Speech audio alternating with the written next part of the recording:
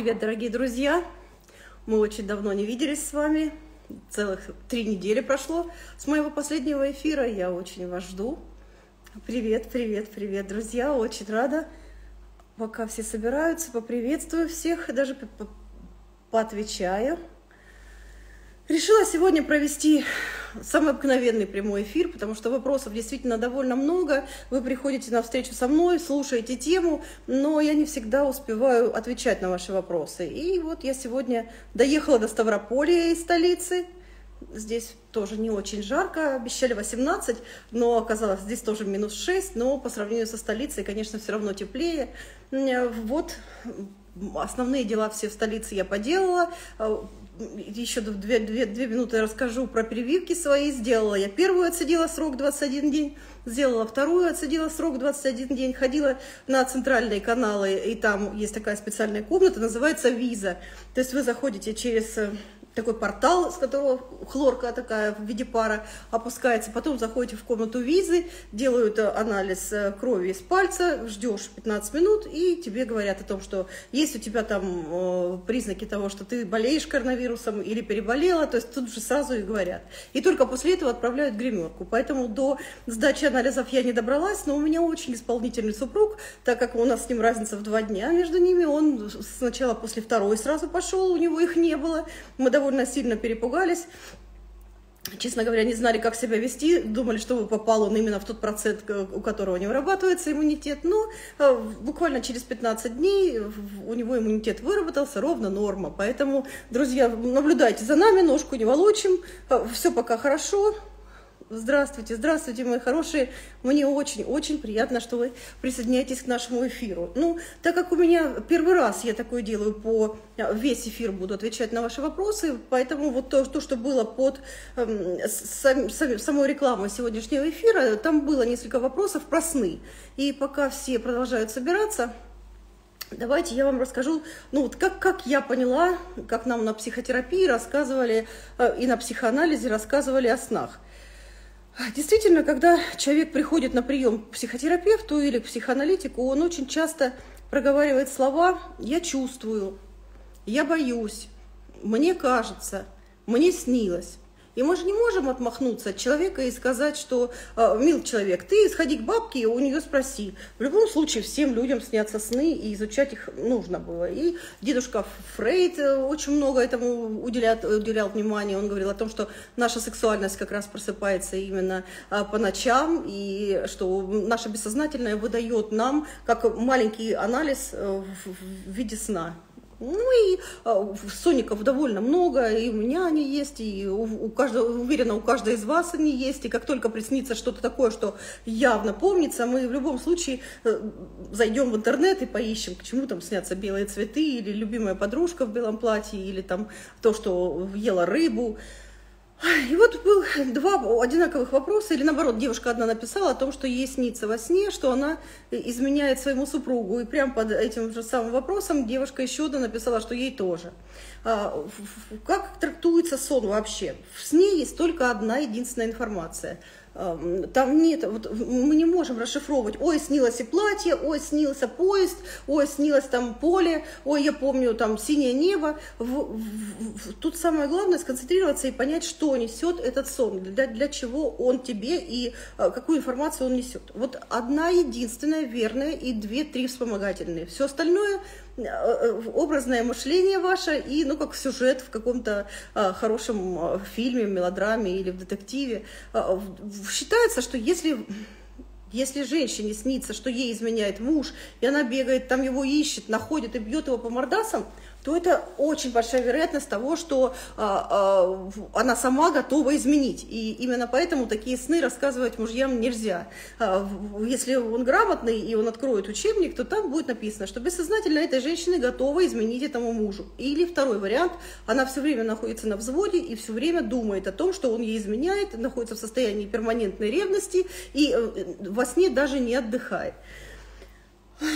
Чаще всего ревнующая готова изменить. Удивительно, но вот такой интересный фактор. И такой же точно в обратную сторону. То есть, если вам кажется, что а, вы во сне э, изменяете своему супругу, нужно внимательно присмотреться с кем.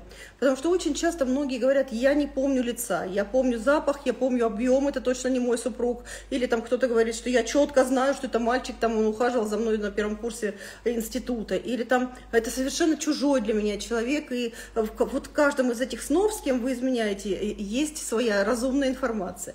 Очень вероятно, что ваше бессознательное не удовлетворено тем, что э, находится у вас в спальне или вообще в вашей личной жизни. И э, размышляя об этом, наверное, мы запускаем иногда такую мысль, вот как бы я жила, если бы его не было. Или уже нет сил работать над отношениями, пусть хоть что-нибудь сделает он. Или наверняка на Земле где-то есть еще люди, которые бы мне подходили. А, я уверена, что даже при некоторых благополучных э, браках бывают такие мысли. Поругалась, села там, закурила там, или там лежишь там на пузе, смотришь в стену и, и думаешь, вот, вот интересно, вот, вот мы поженились, вот я с этим человеком, вот я как бы ну, в иночество вдвоем а, с ним вступила в брак, и некоторые венчаны, и у нас вот иноки, дети, и в принципе поменять я ничего в этой жизни не могу, но вдруг у меня была бы какая-нибудь другая жизнь. Очень вероятно, что то, что сейчас у вас есть, вас перестает устраивать. Так бывает. Мы перерастаем самих себя. Вот когда-то было мечтой там жить в доме из трех комнат, и чтобы у тебя была отдельная комната с замком. Теперь это есть, этого мало хочется, дом из восьми комнат и еще каких-то коврижек. Вот. Хотелось именно этого. Вот бывает же такое, в деревне там живешь, есть там какой-то парень, вот влюбилась в него и думаешь, боже мой, я бы за него замуж пошла, детей бы ему нарожала, и были бы мы счастливы, и родители крутят у виска и говорят, ну ты поезжай в город, там таких, ну, пучок за пять копеек, ну, ну посмотри, посмотри по сторонам, но ты же думаешь, нет, вот только у него выросло у одного, только у него такие синие глаза, только он вот такой вот раз такой, раз такой.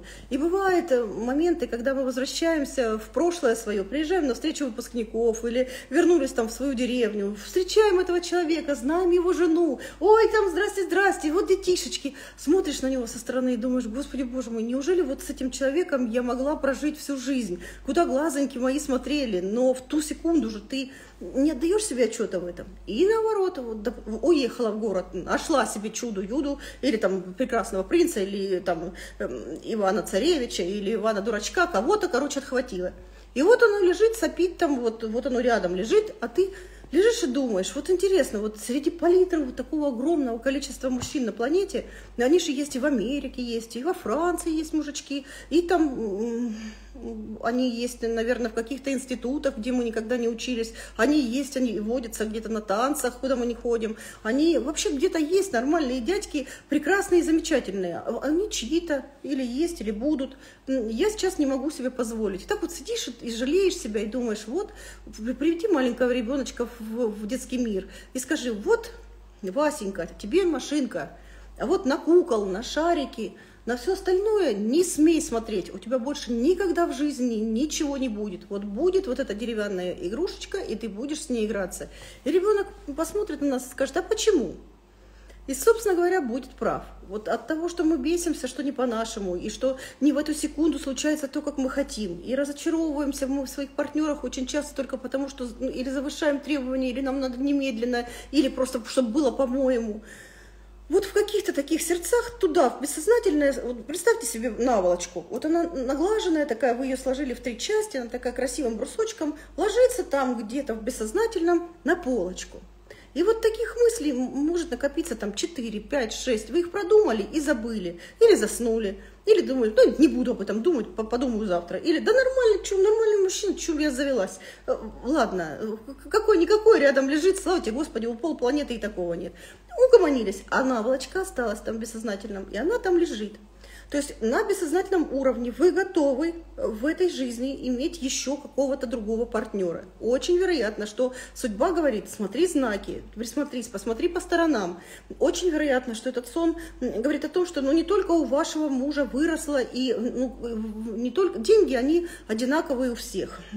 У всех разное настроение, у всех разные характеры, у всех разные отношения друг к другу. Иногда я психотерапевт ко мне редко кто хвастаться приходит, поэтому обычно люди приходят будет жаловаться друг на друга, и я столько вижу несостыковок иногда в семьях, что э, совместное проживание похоже на приговор суда.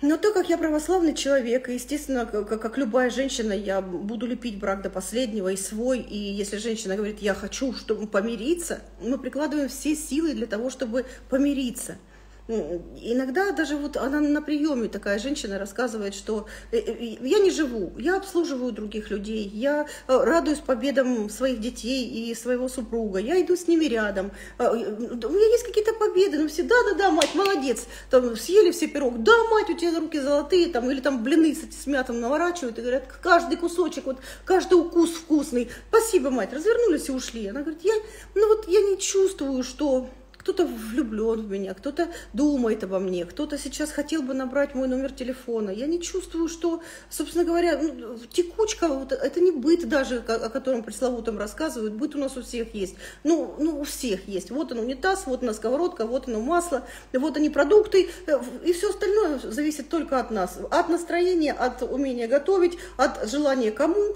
и ну, редко кто из нас будет варить себе борщ или жарить картошку, это ж как сильно надо захотеть, чтобы постоять, все это почистить, пожарить и в одно лицо съесть.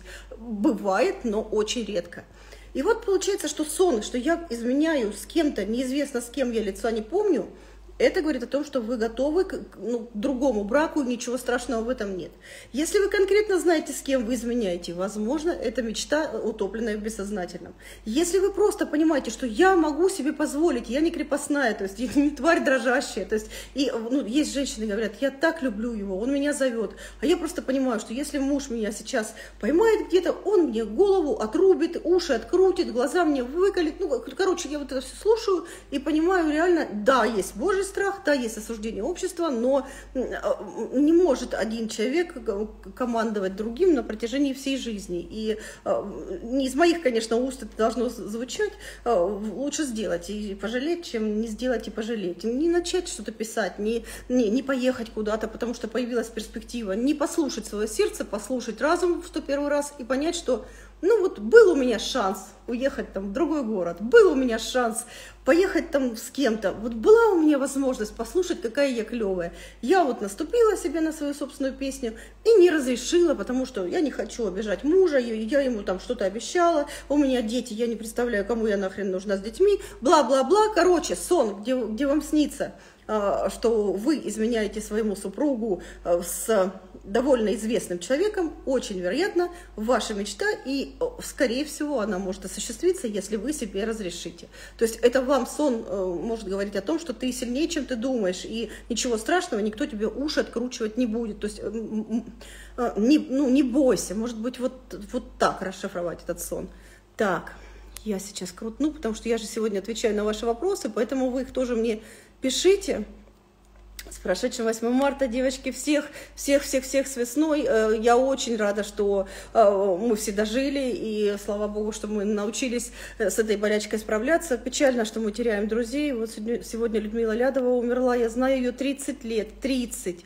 Вы себе не представляете, как тяжко терять таких знакомых, если учитывать, что мне было как же это все? Если учитывать, что мне было 18 или 19 лет, и они приехали в Ростов-на-Дону, я еще работала врачом во Дворце здоровья, они приехали с Аллой Николаевной Баяновой, и э, так как э, ко мне с большой симпатией относился тогда директор Дворца здоровья, он меня пригласил для того, чтобы я с ними общалась, э, там мы с ними что-то организовывала, если нужно, показала их каким-нибудь специалистам, и меня очаровали обе женщины, и потом уже, когда мы приезжали приезжали в столицу, иногда я виделась и была дома у Аллы Николаевны Баяновой, и с Людмилой виделась несколько раз на передачах. И, конечно, это такое светлое воспоминание юности.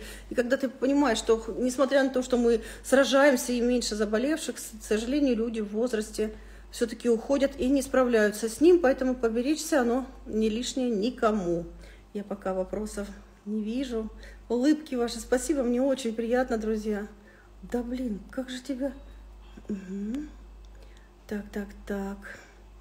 Угу. Там еще был вопрос. Первый раз попала к вам на эфир. Ну, здравствуйте, кто первый раз. А, к сожалению, он сегодня, может быть, к радости. Мне, кстати, тоже интересно, а, что вы, что вы а, скажете по поводу того, что нужно ли мне проводить такие эфиры, лично, лично контакта с вами без темы, ну, хотя бы иногда.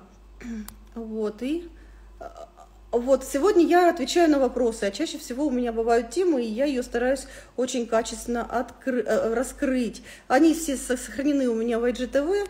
Я думаю, что вы сможете а, там посмотреть, если э, там есть название, если что-то вас заинтересует. Так. Присоединились ко мне, присоединились. Спасибо, друзья. Здравствуйте, любимая, дорогая. Мне очень приятно. У меня очень часто снятся насекомые. Я ощущаю себя так мерзко, прям неприятно. Они везде, везде, везде. Да, это, по всей видимости, ваш страх, и вы, вы боитесь, и а, просто бессознательно отключается, начинает работать другая нервная система. Мы же, а, у нас есть симпатическая и парасимпатическая нервная система, дневная и ночная. Есть люди, которые на ночной там созидают, шьют платья, делают шляпы, пишут книги, а, занимаются любовью, в ночную смену работают. А есть люди, которые шарашат только на дневной нервной системе, а ночная их просто вырубает. Вот чуть стемнело, как куры, они уже квелые, там еще чуть-чуть, и нет человека, он заснул. Э, такое бывает. Так вот, у вас э, отключается основная дневная нервная система, а там чуть-чуть еще страха, ну, там, кто змей, кто тараканов, кто насекомых, а, кто пьявок, кто, кто, кто, чего боится из такой вот штуки. Ни о чем не говорит этот сон, это он говорит о том, что у вас есть этот страх, его тоже можно побороть, а можно оставить, пусть будет. Привет из Ростова-на-Дону, привет, друзья, привет. Привет, Луганск. Нет, эфир идет недавно, 17 минут, как обычно, в 8 по средам верующие люди не придают значения снам. Э, понятно, но я же доктор, то есть верующий доктор, ничего страшного в этом нет. К тому же, а, прошу прощения, немножечко оговорюсь. Менделееву приснилась таблица, и сейчас мы ею все пользуемся. Очень многие музыканты слышат музыку во сне, встают и записывают аккорды. Я знаю несколько авторов наших современников, которые успевают записать стихи, написанные во сне. Сон – это такое это ваша тоже такая же точно жизнь. Вы работаете на другой частоте, но есть люди, которые это все помнят. И э, не смотреть знаки, мы знаем святые писания и читаем их. И точно так же кому-то во сне приснилась Богородица и попросила поставить храм. И если бы мы не верили с нам, половины храмов бы на планете не было. Так, немного подвисаем или только у меня? Нет, сегодня на, на планете, э, по крайней мере в России точно, от находки до Калининграда какая-то ерунда с интернетом. Слышала по новостям о том, что блокируют теле, э, Твиттер, потому что они не убирают ненужные посты, уменьшают скорость, но и автоматически каким-то образом, видимо, шарашат по всему остальному, поэтому уж извините. Так. Так, у нас у всех виснет, у всех и телевизоры виснут, у всех виснет. Так, интернет видно. Так, э, э, так хорошо выглядишь. Я стараюсь, друзья, но все спрашивают про вес. Вес стоит, зараза, он меня побеждает, пока не, не, не получается у меня сбрасывать. Хотя, ну, как, как, как бы ну, жира нет, но и, и вес не уходит. Но ну, будем думать. Так, ты сама кормила? Ой, не, не ест она, у нее весна. Это Равана, Зина. Вон она, вон плавает. Мы сегодня купили ей гупиков. Раньше она их всех съедала. Не ест даже их. Мой супруг говорит, давай сделаем ей салата, купим ей. Ну, съест так съест. Но не съела, вон плавают седодной. Видать, не ест просто так. Спасибо, что любите меня. Так, снилось, что в телефоне любимого нашла видео от женщины. Она раскрывала для него вагину. Ревность во сне, да, ревность во сне. Неожиданный, конечно, сон. Ничего себе у вас там какая какая вавка в голове. Ну, что могу сказать? Не бывает такого, чтобы совсем-совсем... А, не, монстры снятся, космос снится. Ну, видите, вот чья-то вагина приснилась. Так бывает. Назовем его ужасом и забудем этот сон. Ни о чем он не говорит, уж тем более ваш бедный муж не виноват, что вам во сне приснилось, что вы смотрите видео. Так, стоит ли уходить из отношений после слов мужчины «не делай мне мозг»? Нет, конечно. А, мы все умеем делать мозг, девочки. У нас э, ну, заложено в нас, мы умеем исправлять настроение и умеем его же портить мужчинам. То есть если они сидят в одиночестве, им никто не делает мозг, они хамеют и грустят. Э, им вообще тошно без нас. Они говорят, поругаться не с кем, поговорить не с кем. И многие люди, оставшиеся в карантине сейчас, говорят о том, что какой бы никакой партнер был, все равно ну, стучит рядом сердце, и есть с кем разговаривать, и уже ты на необитаемом острове. А, не делай мне мозг, я думаю, услышала каждая женщина, даже в самой счастливой семье. Надо научиться трансформировать эти слова, перевести их в шутку, отхохотаться, выпросить денег и уйти из дома. Прекрасно прекрасное решение, и, и он будет счастлив, и мозг его будет спасен, и вы будете с процедуркой какой-нибудь косметической или с обновочкой.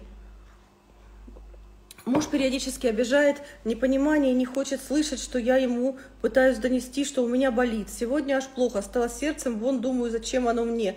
Это конец не, ну поживете, распишите. То есть ваше сердце вас оставило жить, раз.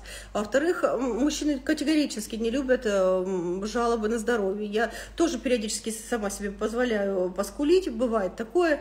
А, прекрасно понимаю, что я такая заводилка, батарейка, я наоборот, все вот хорошо, ребята, сейчас поречем, сейчас вырежем, сейчас отрежем, пришьем полжопой, ставим глаз, сейчас, ребята, все будет хорошо. И, ну, меня же тоже периодически находит, и вот я говорю, что что-то мне нехорошо, и я всегда добавляю, что мне Изечка хуже всех. И я, я редко когда жалуюсь, но если я попросила внимания, пожалуйста, принесите мне воды, найдите таблетку, я чухаюсь, все будет, танцы песни народов мира. Если вы все время жалуетесь на свое здоровье, это может напоминать ему кипение чайника, и он уже не слышит, это как в басне «Волки, волки!» кричал мальчик, а когда волки пришли, а, не вышли люди, потому что уже устали от его вопля.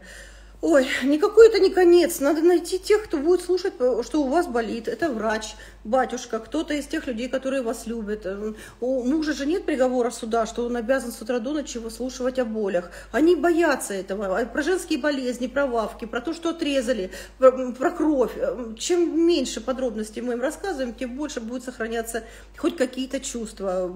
Я, например, противница того, чтобы брать мужчину в роддом. Э, да, это, наверное, большая нежность, и это очень трепетно а, когда он видит этого малыша на животе, слеза у всех, и у кушерки, и студентов, которые стоят вокруг, и мужчинку а, реанимировали, он поднялся, или даже выставил всю эту картину. Но вы же не слышите мужчин, которые после этого приходят на прием к психотерапевту и говорят о том, что вот все, уважаю, люблю как человека, мать моих детей, все, не хочу все. Вот это плохо. Как он будет вас хотеть, если вы доносите, э, что у вас все болит? Он, ну, может быть, он вас жалеет, уходит от ответа, уходит от слез, уходит от невозможности помочь. Поймите, человек не готов это слушать. Найдите тех, кто это будет слушать. Кто-то сам по себе, кто-то за деньги. Никакого конца нет, он может быть прекрасным человеком он может быть прекрасным человеком, но не, не мочь слышать ваши рассказы о вашем здоровье. Так бывает. Он, он не обязан. Он, он может... Ну зачем вам мужчина, который слушает ваш рассказ через силу, которому все равно правда, но так как он обязан, он сидит это и слушает. Зачем вам насиловать его? Не понимаю. Найдите того, кто скажет, да ты что, да давай это вот это вот это, да давай заварим вот такую траву, да давай ты ляжешь в клинику. Если он этого не делает, значит он или не может, или не хочет. Оставляйте его с рассказами про здоровье. Это точно не он, значит. Обычно мужчины сами спрашивают, тебе не здоровится, что-то тебе нужно, где болезнь? Болит. Нормальный человек, когда ему интересно, он задает такие вопросы. Так, э, с другом живем три года, ни разу не говорили друг другу слова «я люблю тебя», но все делаем для друг друга. Это нормально? Три года не говорим «я люблю тебя». Ну, вообще-то должно было женщину прорвать. А, а, я совершенно уверена, что когда приходит истинное чувство, мужчина становится более робким, женщина становится более смелой. И та женщина, которая истинно любит, а, она может подойти первой и сказать «я люблю тебя». В моем, в моем случае было именно так. И Игорь Анатольевич, с которым я сейчас счастливо живу, выкрутил мне руки таким образом. Вот он ходил золотой, просто золотой человек, но не говорил мне о том, что он меня любит. И у меня срывало крышу, срывало долго. Потом совсем сорвало, у него была очень странная реакция, он сказал, мне все, так, мне все это говорят, я аж опешила. А потом он мне сказал, я очень рад. Открыл бутылку шампанского и ничего не сказал мне в ответ. Я думала, я сдохну. Он, до утра он все продумал, и утром мне вынес ответ, что да, он подумал, он тоже любит меня. Это было нелегко, но это было романтично, мы это вспоминаем. Ну, такой, мне все это говорят. Это, это очень неожиданный был ответ. Ну, что могу сказать? Да, это нормально. Или вас прорвет, или вы будете друзьями хорошими. Нужно, конечно, нужно, конечно. Так, Про сны очень интересно, очень нужно. Как научиться отпускать прошлое? Поссорились с родственниками, вернее, высказала им всю правду о их отношениях, а сама постепенно, постоянно думаю об этом. Вроде бы не надо было этого делать. Нахрена вы им говорили эту правду? Нужна была бы им правда, они бы давным-давно про нее бы спросили. Раз. Э, э, проводились большие исследования на планете, и психологам давным-давно интересно, нужна ли людям правда. И все мужчины и женщины разных возрастов поставили ее приблизительно на 18 место. Никому не нужна правда никому, по большому счету. Она нужна только та, которая нас интересует. То есть что нас любят, что мы красивые, что хотят с нами какие-то строить планы, что мы поедем, что мы купим, что мы соберем, что мы не пропадем, что мы родим. А, нам нужна информация, которая нас устроит. Другая правда никакая нам нафиг не нужна. Э, выдавливать ее клещами, ты скажи, сколько у тебя баб до этого было, да? И вот рассказал, он говорит, ну, 17, и давай перечислять. Ты знаешь, из них 8. Это, это, это и это. И вот она, красотуля, она с утра у, у психотерапевта, она говорит, все, я гоняю, я тревожная, я себе насочиняла, я теперь думаю, где он, он там, там, там с ней пересекается, там, там, там, нафиг нужно, что было до тебя, если у тебя сейчас есть настоящее, да забыть и выплюнуть, то есть если мужчина тебя выбирает, он с тобой, клево. Жили-были люди, и они продолжают быть, и их эти отношения устраивают, хорошие, плохие, едят они там, не знаю, собак, э, ругаются, не знаю, пьют друг друга кровь, разъезжаются у них там, э, как свиньи валяются под диванами. Ваше какое дело до тех пор, пока они не спросят, как ты думаешь про наши отношения, скажи нам правду. Вот пока не задается такой вопрос, она нафиг никому не нужна. Правдолюбов не любили никогда, вспомните Чацкого. Вот. И, собственно говоря, если вы думали, что вы таким образом наладите отношения с родственниками, это абсолютно большое глубокое заблуждение. Не могу понять, как научиться отпускать прошлое. Зачем вам его отпускать-то? Это ваши настоящие, это ваши родственники, и пока они живы, они будут продолжать быть. А, прошлое отпускать. От прошлого все равно что-нибудь да остается. Остаются детки, Остаются память о синяках, побоях и переломах. Остаются фотографии, вы можете их э, удалить, а можете сохранить. У многих под кроватью есть целая такая коробка из-под со старыми фотками, и выбросить жалко, как вот они по помойке разлетятся. И хранить неохота. Откроешь раз в 10 лет, посмотришь, ох ты, ёшкин кот, где моя эта майка? А потом, да, намала мне все равно. И, и, и забыли. От прошлого остаются связи, образование. От прошлого остаются Воспоминания очень даже неплохие, у памяти золотые чернила, и даже э, о родах. Думаешь, все, больше никогда в роддом не приду, чтобы я, чтобы я, да никогда, смотришь через полтора года уже, вот она, зайка, вот она уже со следующим, забывается, памяти все стирает, потому что ну, что-то фундаментальное остается, и все равно вот от прошлого ругались, расставались, рыдалась, вьюзал, там денег потратили кучу, изменил, Потом раз она куда-то, куда-то, куда-то уходит. Но вот как память о, о, об ушедших родственниках, да, вот. Мы же тоже считаем все эти сроки и прекрасно понимаем, там, умер отец, все, забываешь все, что вокруг тебя, и э, на протяжении там полугода, месяцев семи ты только об этом и думаешь, у тебя доминанта, не доцеловала, не доездила, не долюбила, не домыла окно, не достирала рубашек, не доспрашивала, не, до, не додала чего-то, да, а потом постепенно, а поехали, поедем, а, а, а давай там веселье какое-то, а давай. И уже реально, понимаешь, как-то стачивается, стачивается, стачивается. Так устроен человек. Он через полтора года не должен уже очень сильно горевать. Мы лечим уже людей. Убирать пыль с ботинок, а, развешивают майки, перестирывают все время по ушедшему мужу или там по умершему кому-то. Вот тогда уже эм, ну, родственники или друзья говорят, тревожимся, никак не может человек успокоиться, вот в обнимку с ботинками спит. А, у памяти золотые чернила, и поэтому она постепенно-постепенно стушует все и уберет, как акварельную краску с картины. Она смоет э, беды, обиды, синяки, переломы заживают. Остаются дети, драгоценности, светлые воспоминания, так должно быть. Э, если вы подробно мне напишите, что вы хотите забыть из прошлого, может быть, я вам подскажу, как это сделать.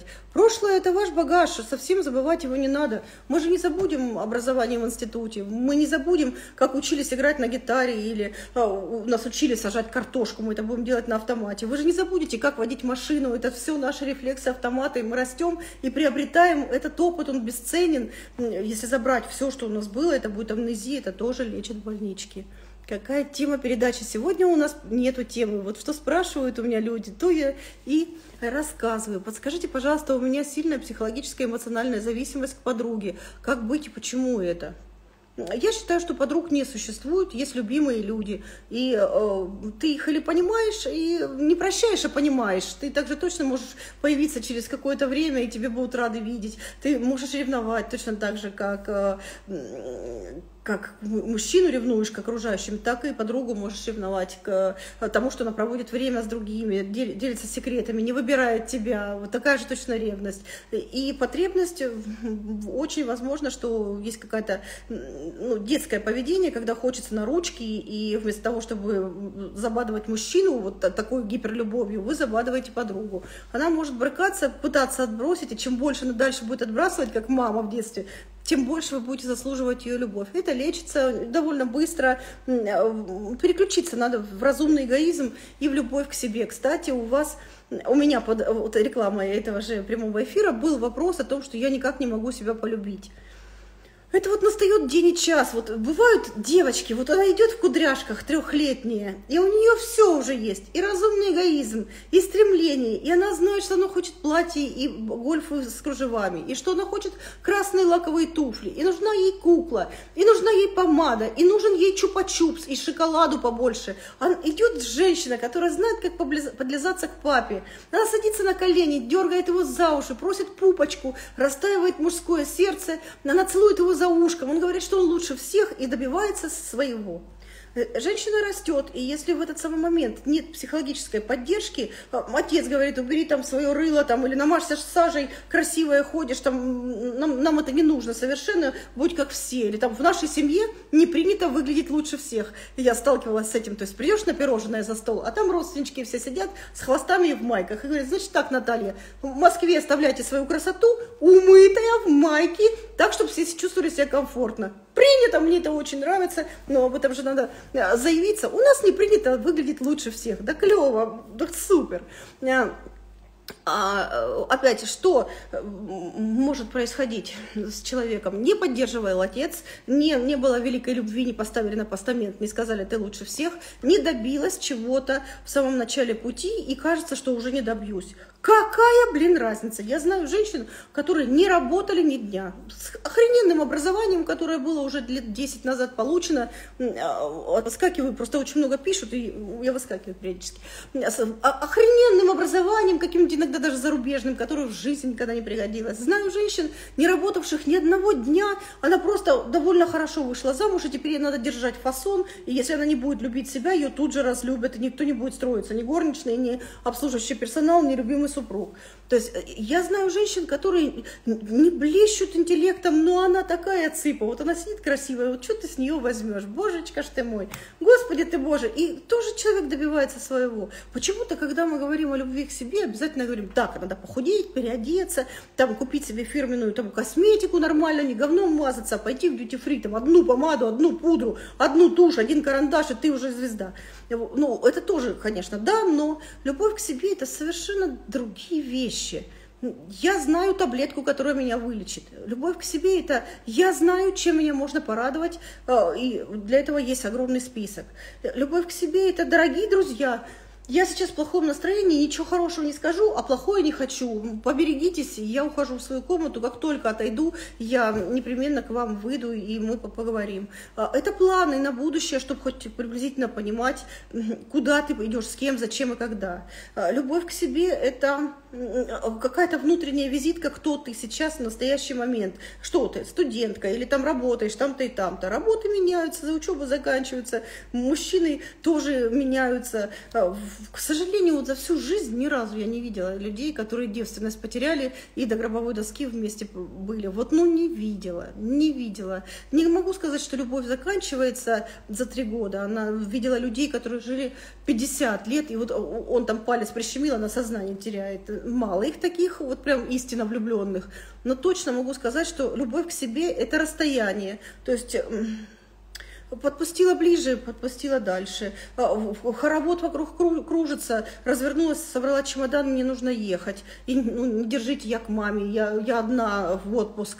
А, любовь к себе, это мне не скучно самой собой в том же самом отпуске одной. Я пойду в кино, я пойду в театр, я почитаю книгу на пляже с большим огромным удовольствием, мне не скучно с собой. Мне есть чем заняться. Вот там тряпочки, вот там меха, вот тут пуговички, вот они мои цветочки, вот моя рыбка. То есть э, любовь Любовь к себе – это сделать интересно себе, это сделать вкусно себе. Любовь к себе – это красиво, это тело, которое лежит рядом. О-хо-хо, сколько бы нам не было лет, но вот я на него смотрю, он меня не бесит.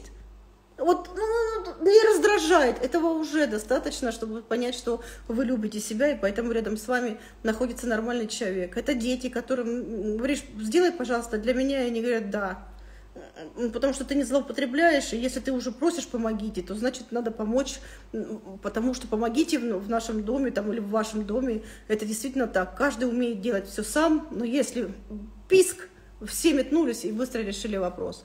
Любовь к себе – это окружение, вы не терпите общения с кем-то, вы спокойно и легко встаете и уходите, когда вам неинтересно, закрываете нелюбимую книжку, потому что вы совершенно не, не обязаны ее читать. Вот точно так же и с людьми говорите, можно я пойду? К сожалению, у меня больше нет времени, прошу меня понять и простить. И отваливаете. Вот это и есть любовь к себе. Не в, пома не в помаде. Иногда некоторые экономят, куплю колбасы, куплю хлеба, опять не куплю себе помаду. Хреново это, заначку надо и покупать себе, если что-то сильно хочется, непременно нужно.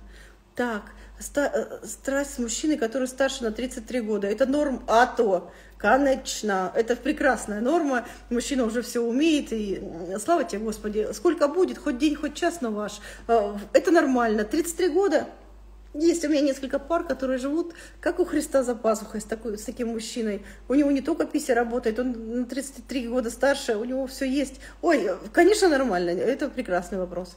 Так, непонимание с мамой и что? Вопрос надо. Непонимание с мамой. Муж не хочет ничего менять в жизни. Зависли как в болоте. Не знаю, как начать что-то изменить. Развод? Нет. А, надо сначала понять, не знаю, как начать что-то изменить. А, нет, никакой не развод, не могу, не могу понять. Мне кажется, люди не понимают, для чего вообще существуют коучи, психотерапевты. А, это ж не значит, что мы все психиатры, хотя у хорошего психотерапевта есть образование психиатрическое, потому что понять, что за чудо к тебе пришло, вавка у него в голове, или просто кризис, или прям совсем надо в больничку, это человек опасный для общества. Для этого и существуют специалисты, пойти и разобраться, сесть напротив друг друга со специалистом и понять, где слабые, где сильные стороны, что можно выжать из вашего образования, какие перемены конкретно желаются, наметить какой-то алгоритм действий, прийти с этим предложением к своему супругу. Он точно так же не знает, с чего начать, его все устраивает. Он не хочет ничего менять, потому что у него все чики-пики. Не устраивает-то вас, поэтому надо сначала разобраться с собой, а потом сделать предложение супругу. Если вам не по пути, тогда принимать осознанное решение. Что такое развод у меня? Нет, конечно. Очень вероятно, что женщина начинает, она говорит, а давай уедем в Болгарию. Он такой, что?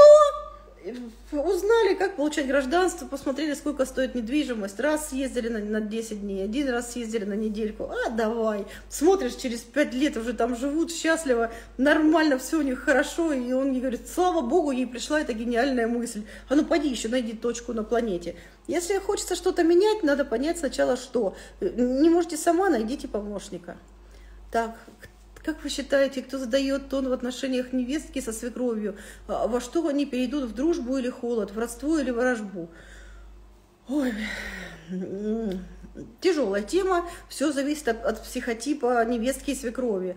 А, могу вам точно сказать, что умная женщина, да, взрослая, она прекрасно понимает, что а, если сын женился, то она приобретает двоих детей. А, если она начинает воевать с невесткой, очень часто она теряет и сына тоже. В принципе, что с ней воевать? Ну, девочка и девочка, нормальная, занятая женщина, ну, допустим, типа меня, да, только у меня зять будет, ну, вот, если у меня расписан каждый час, если я попросила, и у меня все сделано, если все улыбаются, здороваются, приготовили поесть, принесли, мы приготовили, поделились, а, как-то поедем отдыхать, поедем, ну, живите там, если что скажете, будет там трудности какие-то, и хорошо. Я не лезу, мне некогда, то есть таких, как я, миллионы. Очень вероятно, что если невестка предложит сходить на педикюр вместе, я знаю семьи, которые помирились только на том, что мама с э, невесткой сошлись на косметических салонах. Да, пришлось мужу, ну, то есть сыну оплачивать первые 2-3 месяца, потом они уже изыскивали резерв, как найти денег на педикюр, с хохотом ходили, невестка заезжала, забирала свекровь, они возвращала ее красивую, э, контры все ушли, напряжение ушло. Все свекрови любят, чтобы им что-нибудь дарили, поэтому ни в жизни никогда не приходить с пустыми руками. Есть возможность помогать, помогать. Кто задает тон, кто умнее? Бывает невестка такая лисица, видела я несколько таких, там хоть какая будет свекровь, хоть какая, хоть Годзилла, она все равно с ней найдет общий язык. Чем дальше, тем роднее. Общаться надо, спрашивать, как давление надо, подарки дарить надо. В любом случае, это корни, это мать вашего мужа. Любите мужа, любите его маму. Вот прям не разрешайте себе ее не любить. Вот просто скажите, это просто невозможно. И, и все. И относитесь как к своей. Так, только, только подключилась, какая тема сегодня? Я отвечаю на вопросы. Сегодня я отвечаю на, вот что приходит, на то и отвечаю. Как понять, депрессия или не хватает витаминов, или гормоны щитовидной железы, усталость, нет настроения, сонливость, перепад настроения – надо сдать анализы, и они все покажут. Если это щитовидная железа, покажут. Если это депрессия, то в любом случае специалист ну, поставит диагноз в одно посещение. А, в нехватку витаминов покажут тоже анализы. Я же не умею делать эпиляцию по телефону. То есть как сделать эпиляцию? Намажьте и дерните.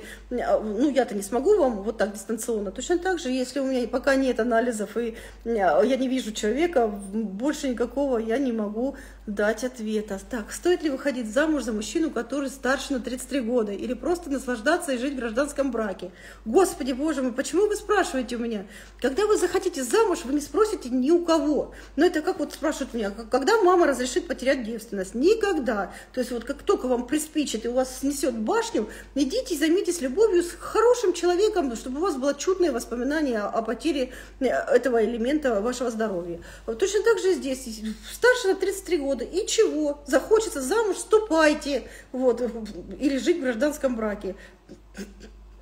Будет предложение, будете решать. Захотите, пойдете. Ни у кого не спросите, ни у меня, ни у мамы. Так, улыбнись, улыбаюсь.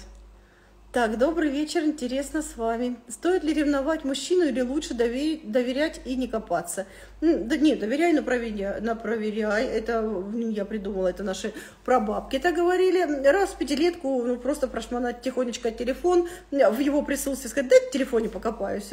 Вот я себе не позволяла, мне не некогда, правда. Но, например, у меня, он оплачивает мне такси, у его карточка привязана к моему такси. Поэтому даже если мы в разных э, городах э, в России э, приехала, уехала, у него пикает.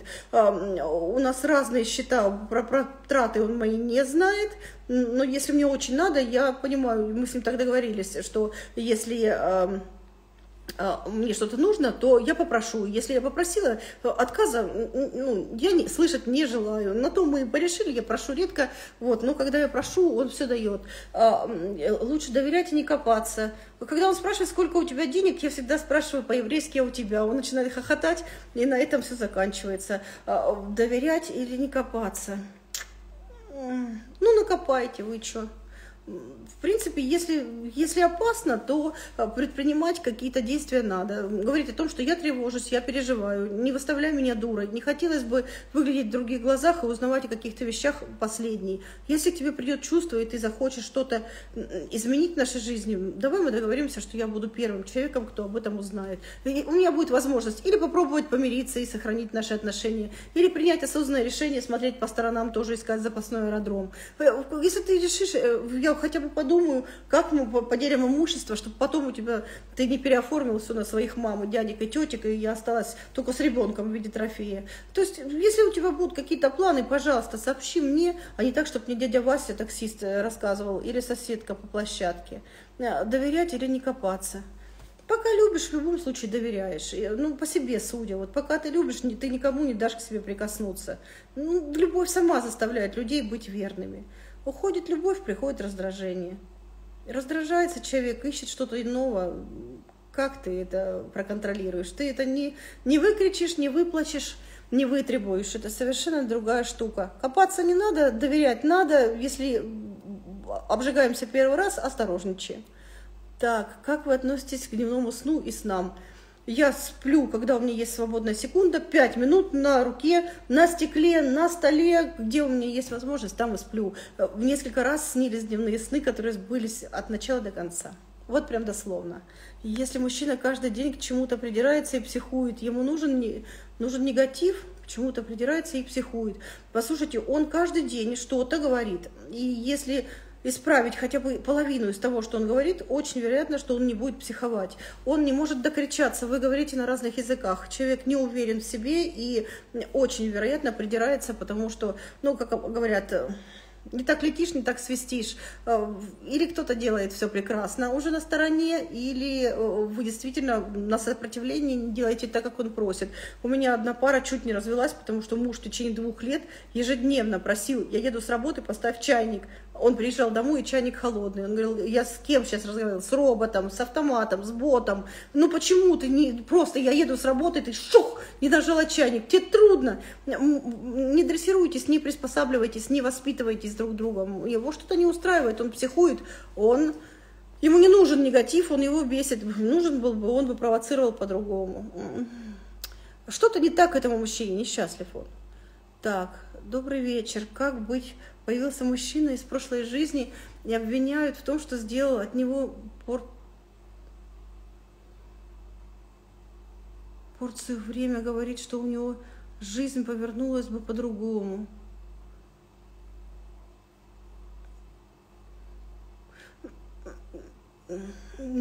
Еще вопрос бы мне какой-то. Появился мужчина из прошлой жизни, обвиняют в том, что сделал от него порцию время – Говорит, у него жизнь повернулась бы по-другому. Ну, говорит, надо слушать. Все уже случилось. Появился мужчина, это его проблема, что он обвиняет. Это его проблема. В жизни уже повернулась так. Отталкиваться нужно от этого момента, когда вы встретились сейчас. Все, что было в прошлом, это прошлое, мы только что а, а, а, это обсудили. Все случилось. У каждого была своя жизнь, у каждого была там своя семья, свое время, другой город, другая учеба. Все, это все уже было. Есть здесь, сейчас, сегодня вы встретились, и нужно говорить о сегодня. Что можно сделать для того, чтобы быть вместе? Но виноватых в том, что у человека так что-то сложилось, других искать не надо. Никогда. Иногда ревность необоснованная доводит человека и унижает, э, и унижает, что ему не доверяют. Женщины часто придумывают – Часто женщины вообще великие драматурги, и со скуки, знаете, у всех проблем одно начало, сидела женщина, скучала. Вот она сидит э, и думает, где он есть, он не звонит, она может сочинить 10 вариантов, он там у мамы кладет линолеум, он с Динкой там э, в кино, он еще там что-то. Ну, не волнуйтесь, тетя, дядя на работе, а не с кем-нибудь в кино. Должен или кто-то э, раз, разуверить это все, или она просто сказочница, ей делать нечего, ей нужно, чтобы кто-то обнял, поцеловал, сказал, что ты лучше всех. И так как ее партнер ей этого не говорит, она будет ревновать и сочинять, привлекать к себе внимание. Чаще всего мужчина разворачивается и говорит, вот, достала меня, давай я уйду, и ты будешь ревновать какого-нибудь другого человека, я тебе не пластилиновая игрушка, я не буду отчитываться о каждом своем шаге, и будет прав, потому что каждый человек имеет право на свое личное пространство, на свои личные контакты, переписки, деньги. Э, мы не можем стать крепостными только потому, что вот этой тетки с кулем в ЗАГСе, вот этой вот, этой тетки пообещали, что мы всю жизнь будем вместе. Ответственность несем, доверие несем, любовь несем, заботу несем. А не несем, значит не хотим. Аборт. Аборт. Принял человек осознанное решение и понимает, я сейчас или не могу родить, или не хочу. Эм, аборт, все. Наталья, где черпать энергию в случае эмоционального выгорания, на грани депрессии, спать, брать отпуск и просто богатырским сном. Лес, гора, э, еда, выпивка, как ни странно, чуть-чуть, но надо. Эм, люди, которые вас любят, деревья, ну, в основном сон лечебный сон, он такой был всегда. Спать, спать, спать и спать. А прийти к врачу, назначить антидепрессанты и, и что-нибудь снотворное выпишет. Выгорание, устала. Менять, менять, поворачиваться на пятках и идти в другую сторону. Ветер поменяется за секунду.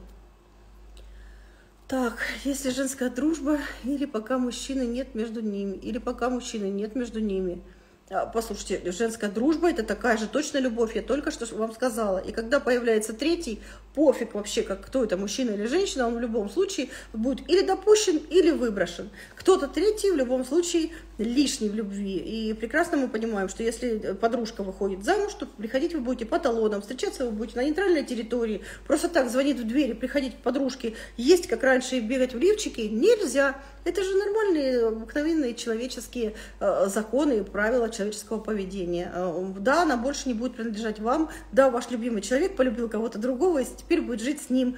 Если у вас будут, вы обычно, если это мужчины и женщины, то мы говорим, не надо дружить, давай останемся друзьями, это фигня, потому что он, он что, будет приезжать, когда ему вздумается оладиков, что ли, поесть? Нет, это не надо. Если это были две подруги, они найдут резерв, они встретятся в кафе, как вот в любовь, а, в секс в большом городе, или будут ездить в поездки. В любом случае общение будет сильно меньше. А, как только у любимой женщины появляется мужчина, ну, делать ноги, потому что мужчина не может стоять между вами, он и ее. Все, это табу. Не хотеть, не смотреть в ту сторону, думать, что у него три ноги, восемь глаз, это инопланетянин, все что угодно. Это не мужчина, это любимый человек подруги, и только так. Если женская друг... Ага, так, доброй ночи, привет, вечер. Так.